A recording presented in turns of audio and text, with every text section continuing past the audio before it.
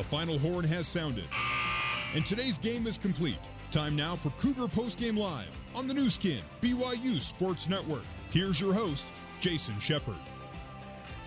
BYU men's basketball, the season coming to an end tonight, losing to number two seed Stanford at Stanford, 72 to 63. Congratulations on a remarkable season for the BYU Cougars and Shaylee Gonzalez. Man, what a performance. 32 points, career high. She was fantastic. Future is bright for not only for her, but for the BYU women's basketball program. All right. We're going to go kind of quick. Want to get you back to Stanford. There's a post game press conference uh, with BYU coaches and players heading up to the podium. So we're going to try and make our portion brief. Let's update you on other action from earlier today in the NCAA tournament on the women's side of things. Baylor defeating Cal 102 to 63. The other number one seed Notre Dame defeats Michigan State 91 to 63. One of the upsets today, six seed UCLA defeating Maryland 85 to 80. It was NC State over Kentucky 72 57. Four seed Oregon State taking down five seed Gonzaga by six, 76 to 70. One of the other upsets, 11 seed Missouri State defeats third seed Iowa State 69 60. Stanford went off face Missouri State in the Sweet 16. Also, six seed South Dakota State defeats third seed Syracuse 75 to 64. Coming up on the other side, we'll let you know how Jimmer did in Salt Lake City as the Jazz host the Phoenix Suns. Your final tonight from Stanford 72 63. We'll have more Cougar Post Game Live coming up on the other side on BYU Radio. This is Cougar Postgame Live on the Nu Skin, BYU Sports Network. Stanford defeating BYU tonight at Maples Pavilion, 72 to 63. Welcome back in to Cougar Post Game Live. We'll get you back out to Stanford coming up in just a few minutes. We're expecting head coach Jeff Judkins and some BYU players to head to the press conference room. We will let you hear from the BYU Cougars coming up in just a second. Do want to update you on one other score in college basketball. Second round of the NIT tonight in Boulder. Uh, four seed Colorado taking on eight seed Norfolk State. The Buffaloes getting the win by 16, 76 to 60. All right, to the NBA. We're going to give you one score tonight. Has to do with the Utah Jazz and the Phoenix Suns. Well, why are we giving that score? Well, I know we had a lot of Jazz fans listening here on BYU Radio, but also because Jimmer was back in town. Finally back in Utah playing in an NBA game. The Jazz get the win 125 92. Jimmer in the loss, did play 14 minutes, got a standing ovation by most of the crowd. I know head coach Dave Rose and his wife Cheryl were in attendance. Saw Robbie Bosco there. I'm sure there were a lot of other BYU dignitaries uh, that we did not see. Jarom Jordan was there. He's telling me on the other side of the glass to make sure I mention his name. Uh, he was there. And yes. And by the way, speaking of that, tomorrow on BYU Sports Nation, right here on BYU Radio, you'll be able to hear from Jimmer because of the hard work by one Jarom Jordan, who was in attendance tonight. But I digress. Jimmer Fredette again, 14 minutes, was 1 of 10, finished with 6 points, 0 5 from 3, 4 for 4 from the free throw line. And uh, it was a crazy scene. I was just watching it on TV towards the end of the game, the game was done. The Jazz were going to win. Phoenix was going to lose. Everybody just wanted Jimmer to score, and there were a couple of really good looks, just didn't go down. Uh, but the Jazz get the win, 125 to 92. Jimmer with six points in his return to Utah and the NBA. All right, that's a wrap for Cougar Post Game Live. After the break, we're going to get you back to Maples Pavilion for the Cougar Locker Room Show. Your final from Stanford. BYU falling to the number two seed Stanford Cardinal by a final score of 72 63. And you heard it all right here on BYU Radio. Let's get you back to the Bryant Heating and Cooling Comfort courtside seats and the voice of the Cougars, Greg Wrubell.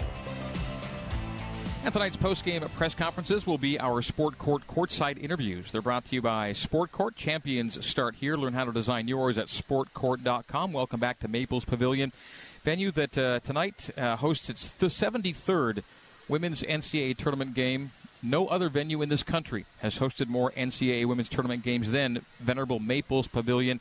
And man, the Cardinal play well here as expected. 18 consecutive now NCAA tournament wins on this floor. They go to 38 and 4 all time in NCAA tournament games played on their home floor.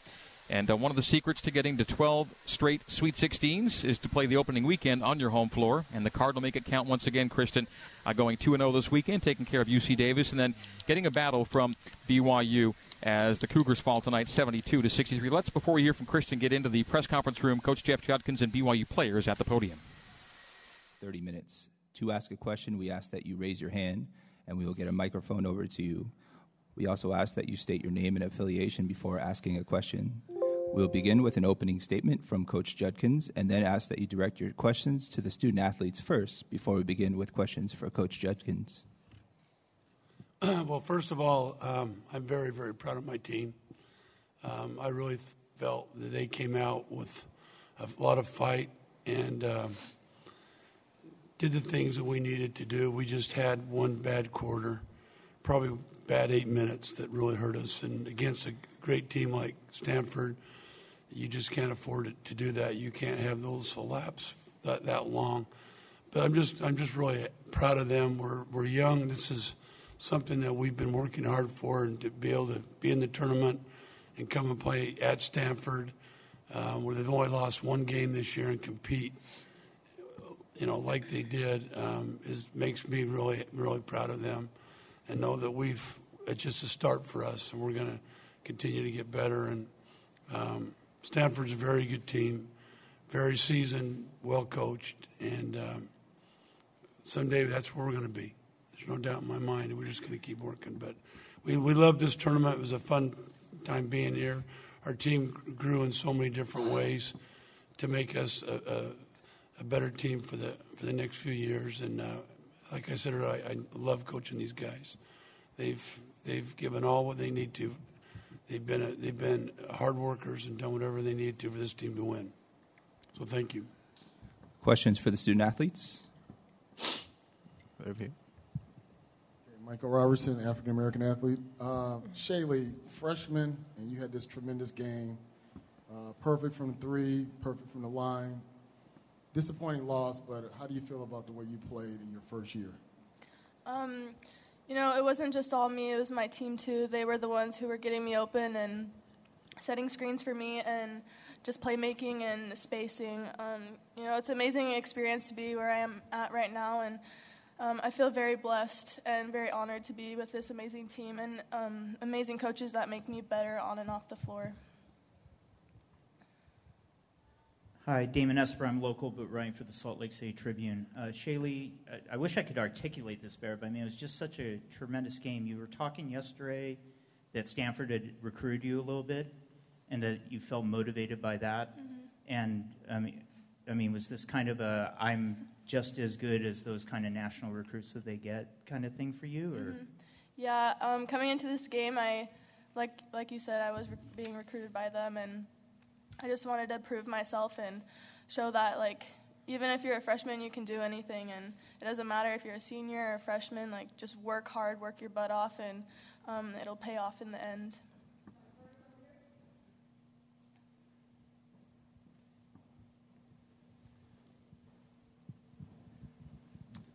Shaylee, how much can a, a game like this, where you kind of get to measure yourself against a program like Stanford, not just you personally, but the team, how much can this motivate you guys next year?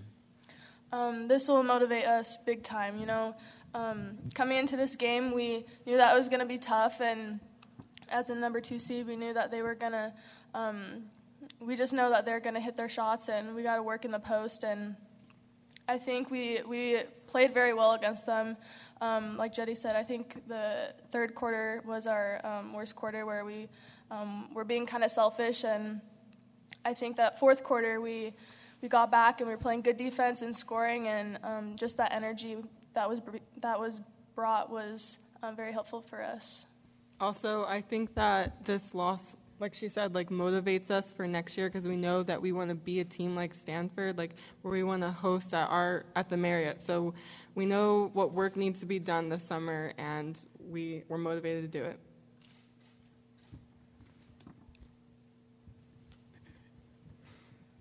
For both of you guys, uh, did Stanford change up anything defensively on you guys in the third quarter, or was it just you guys kind of start, started missing shots there? I think not only did we miss a little bit of shots, but we kind of started getting a little bit tired. And with Stanford, we can't afford to be tired. We have to like keep up our energy and be consistent the whole time. So I think getting a little tired and being selfish um, is what caused the drought a little bit. Mm-hmm.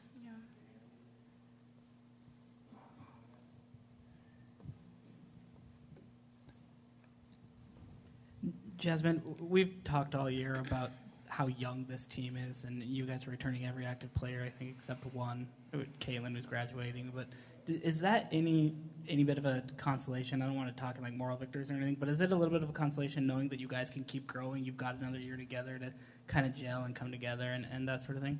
Yes, like we know that this is just the beginning. It's just the start. We got a little bit of a taste of the NCAA, and we know that we want to keep coming back here consistently for the forever. So we know with this young team that um, we can only get better from here.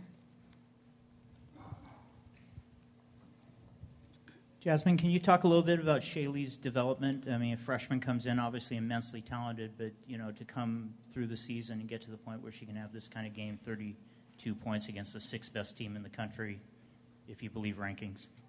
I didn't even know she had 32 points, to be honest, but good job, Shaylee. That's amazing. Um, Shaylee has really grown this whole year. She's really taken to heart what our coaches and even us as teammates has said to her. She really listens well and tries to adjust her game. And I think that's honestly like what's helped her is being like open and listen. Like she knows she's a good player, but listening to the, her teammates and her coaches is what helps her game develop to be even better. And she's only going to get better from here. So we're so blessed and we're happy to have her a part of our team.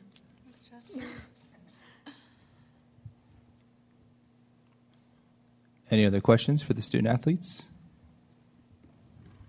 Thank you very much. Thank you. Thank you. See you, ladies. We'll now continue with questions for Coach Judkins.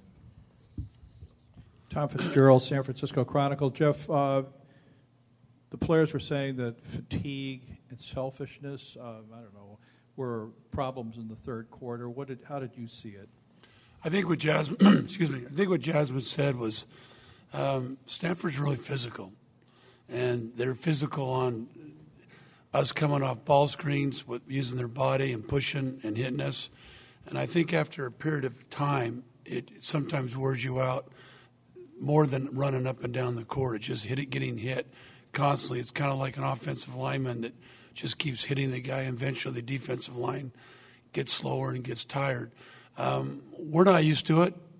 Um, in our league, surprisingly, those refs, ref Pac-12 in our league, they don't let us get as physical as that. And I think it affected us tonight where we weren't used to it. And um, I, I know right now when I talk to them in practice that you got to cut harder, you got to be stronger, you got to be more balanced. They're going to listen a lot more to me now because that's what I'm talking about. Teams that are physical doing it. Um, I really thought Shaylee personally, she missed some shots that she usually doesn't miss, and part of it was just getting hit and not being able to to finish that. But what a great! I didn't realize she had that many points. I knew she had a good game, but 32 is pretty pretty sweet for a freshman in a tournament against a very very good team. Um, but I think that's that's where we need to do better. Uh, we've got to get more inside presence tonight. We just couldn't get the ball inside like we like we we should, and I think that hurt us too.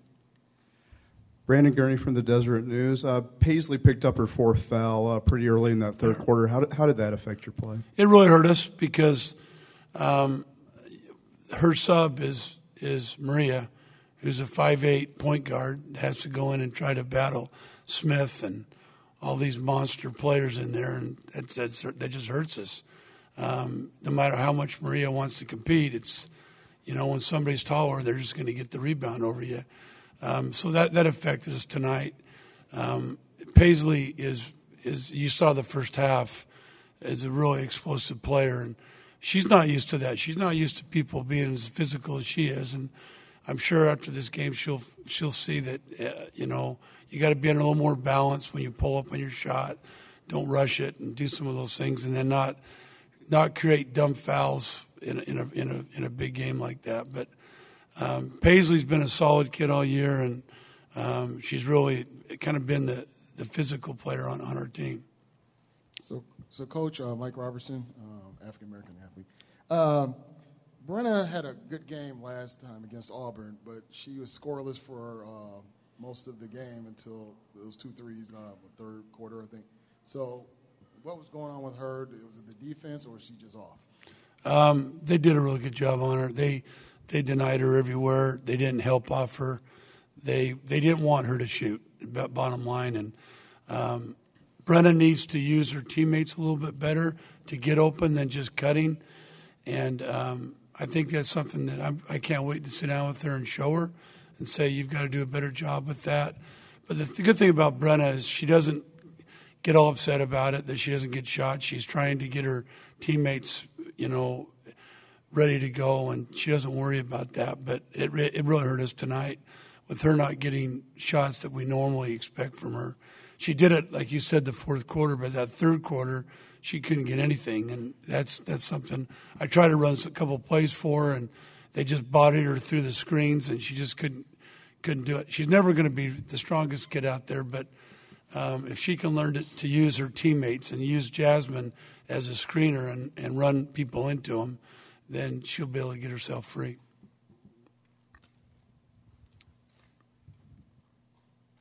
First half, uh, defensively, it was just like the Auburn game. You're, you're, disrupting their shots, getting hands on a lot of passes and all that.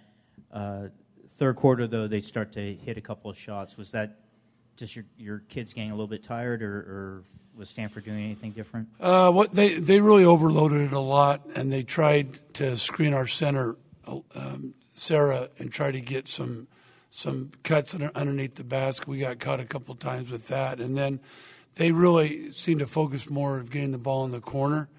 The the second half with their threes, and you know when Smith's hitting them out there, um, it's really tough. I I really thought that they, they penetrated as good as any team against us in that zone. Um, and that hurt us. We had attacked and they kicked it, and that gave them a, a, a, some shots. Um, you know, I'm playing a 5'10 power forward that has the heart of a lion, and after a period of time, you get tired and you can't maybe close out as fast or your length. And I think that's kind of what happened a little bit to us tonight. I wanted to play more man because I knew Stanford would do that, but – uh, it just we had a hard time really guarding guarding their inside presence. So that's why we had to go go more zone.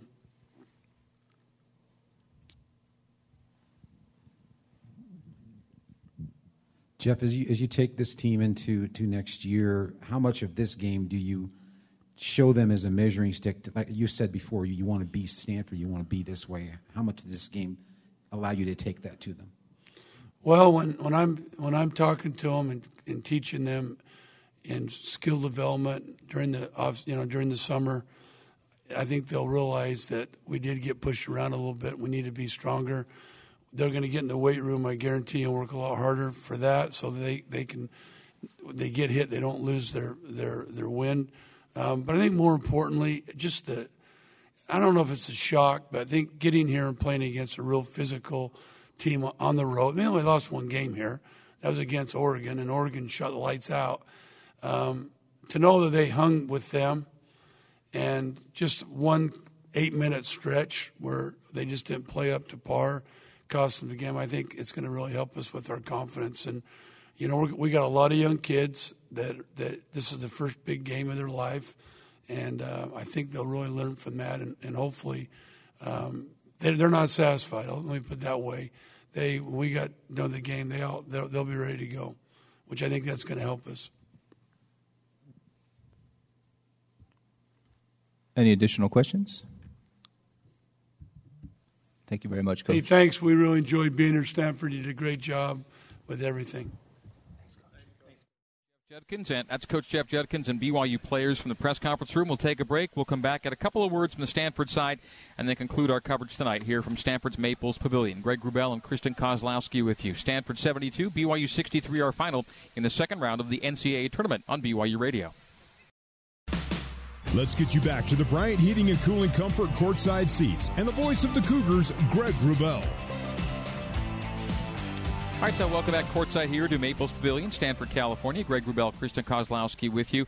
If we're able to get a member of the BYU team with us on headset, we'll do that. We'll have that either and or uh, ducking into the Stanford press conference and get the word from the Cardinal side of things. Stanford wins at 72 to 63 over BYU tonight. Kristen, uh, maybe just some uh, some post game thoughts after kind of digesting how things went down here tonight. Well, I just think it's difficult. You come into a game like this where Stanford brings in a great crowd. You're on their home court. They're comfortable here it is a tall task. And when you cannot execute and you have those empty possessions, ultimately that's where BYU's downfall was.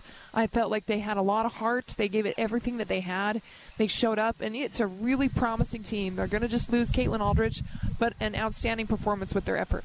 BYU head coach Jeff Judkins uh, popping on the headset for a couple of quick seconds here. We know they've got to get out and get home. They've got a quick flight coming up here. And Juddy, you're able to smile because I'm sure there's a lot of satisfaction in what you saw your team do this season, as tough as it is to lose on this night. Yeah, you know, this is why it's so hard in women's NCAA. You get two home games, don't have to travel, you get calls, you get the fans, um, and that's what you're aiming for. You aim to try to host and, you know, try to do the best that you can. And, you know, we played one bad quarter, and part of it, um, we don't get to play that physical like that in our league. And it's the same refs. That's that's what that's what amazes me. But we're not used to that. And they, we came out, and I don't think we were afraid of it, but it wore us down. And we got hit and got hit on every pick, and then we just couldn't come off it as hard, or we couldn't we couldn't shoot on balance because we were hit.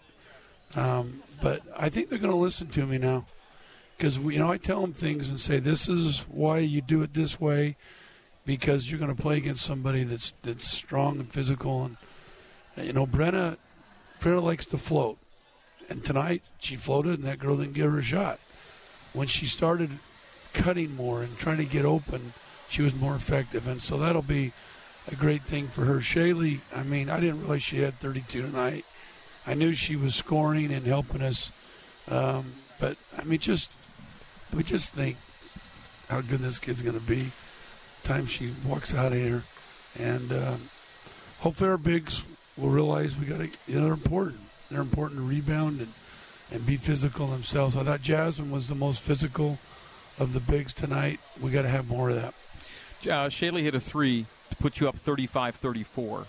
Then it was a 16 nothing run the other way, and that was really the game, wasn't yeah, it tonight? it was. It was, and you know, we just kind of started doing too much one on one when we got down instead of running our stuff and just letting it work. But that's a tendency of a young team. It it just they think they have to do it themselves instead of us. And the couple timeouts that I called, that's what I was trying to emphasize to them is don't force it. Just let it come. Let your teammates get you open. Let the system get you open. And it's easier said than done, but um, that's something we'll be able to talk about and hopefully help them. As much as you have to let you you want to win and soak it up, a loss you also have to kind of just let settle in. What is the silver lining for you as a coach going forward into next season with what you're going to have returning and how much this game helped them? Well, we we definitely got to get a four that is big and can guard people. We've lost two games this year, two fours that killed us, Huff and Smith.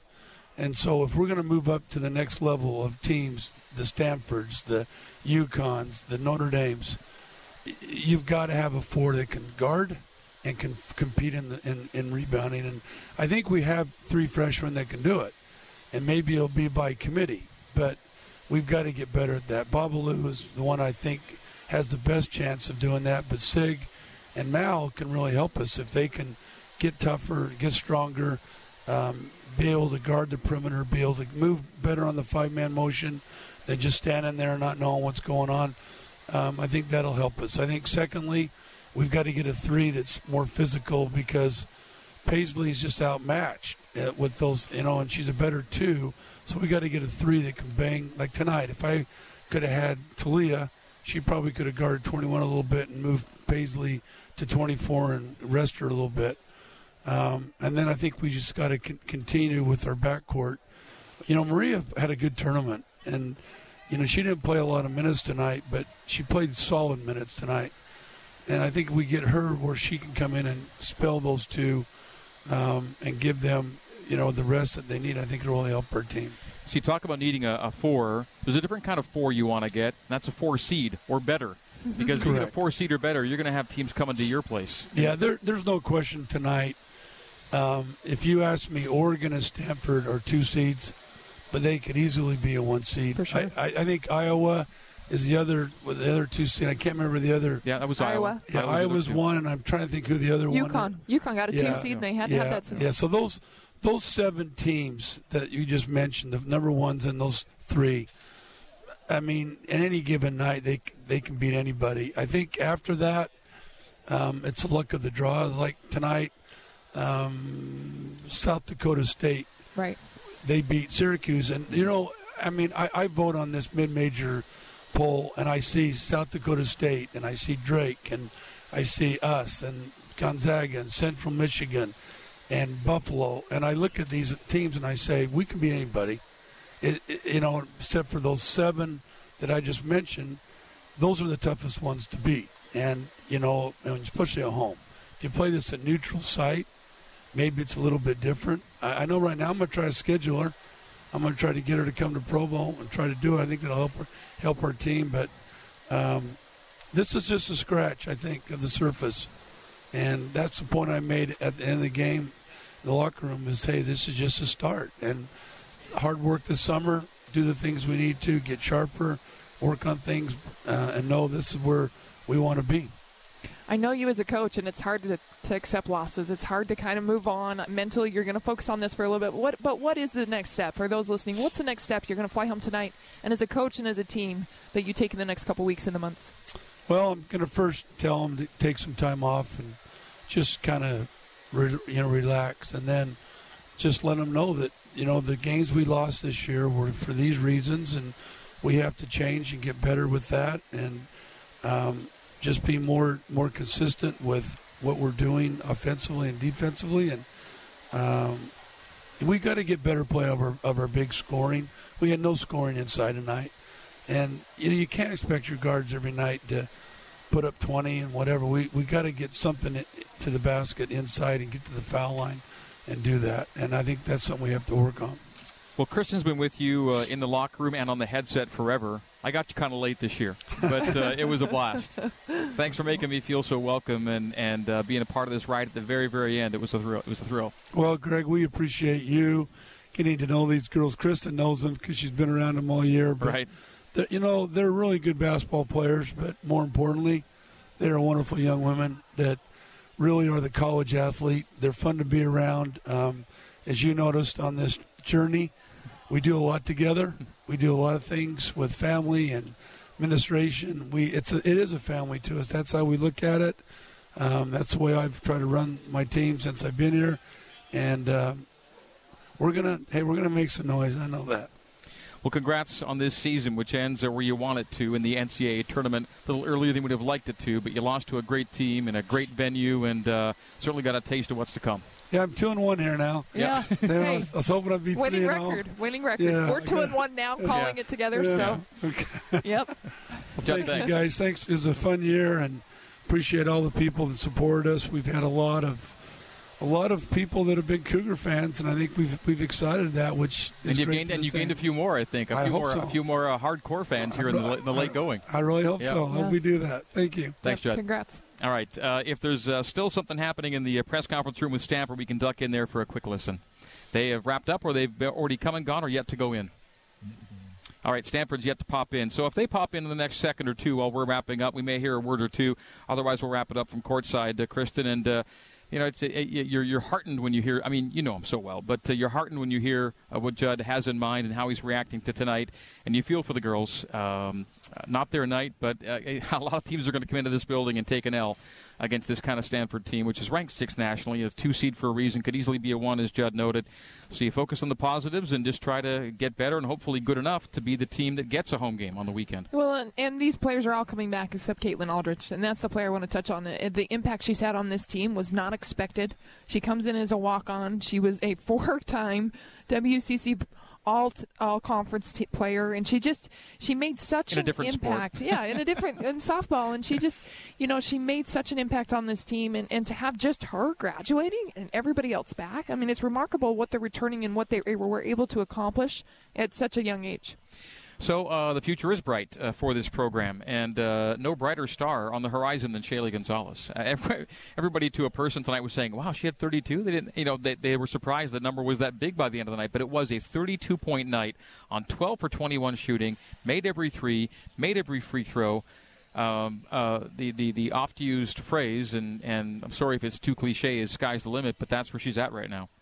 Well, she's fantastic, and I look forward to seeing what she does in the offseason because we know she works hard. I mean, the girl has such incredible work ethic, and she comes from parents that know how to win at a high level. I mean, they both played college ball. They helped train her through her high school and her club ball careers, and her future is so bright. And I think Coach VanDerveer saw it over there, and you know, she sat there squirming a few times because her girls could not shut her down, and so that is a promising future right there in that player for BYU. Kate, I think we're going to wrap it up without uh, ducking into the press room, but uh, Stanford is a winner tonight, 72 63 over BYU.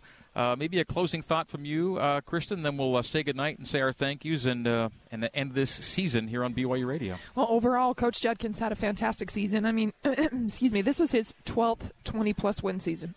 They finished 26 and 7 on the year, and I personally know Coach Judkins on a different level. I played for him, I followed this team and, and been in depth with him over the years, and so proud of what he accomplished and what these players accomplished. They left everything they had out there on the court. All right, for Kristen Kozlowski, I am Greg Wrubell. Again, a real pleasure to be a part of this ride at the very tail end of it. A fun time in Vegas, a more fun time had here at Stanford, even though it ends tonight in the round of 32. The Cardinal on to the Sweet 16 to place, uh, play Missouri State. That will happen next weekend in Chicago. Our thanks to our crew back at BYU Radio, our studio host, Jason Shepard, our engineer, Sean Fay, our uh, intern tonight, broadcast intern, uh, Tess Anderson, our control board operator, Nathan Israelson, and our coordinating producer, Terry South. Thanks as well uh, to Sean O'Neill, Don Shaline, and others back at BYU Radio. So for those folks, and our thanks to Norma Bertoch and the BYU basketball media relations staff, uh, Coach Judkins and his players. Uh, again, I am Greg Wrubell. Thanking you for tuning in. For Kristen, I am saying in the meantime and in between time, this has been BYU women's basketball on BYU Radio. Good night and so long from Stanford. You've been listening to live coverage of BYU basketball on the Nu Skin, BYU Sports Network. BYU Basketball is a production of BYU Athletics in association with BYU Broadcasting. Special thanks to BYU President Kevin Worthen, Vice President Matt Richardson, Athletic Director Tom Holmoe, and General Manager of Corporate Sponsorships Casey Stauffer. BYU Basketball is an exclusive presentation of the Nu Skin, BYU Sports Network.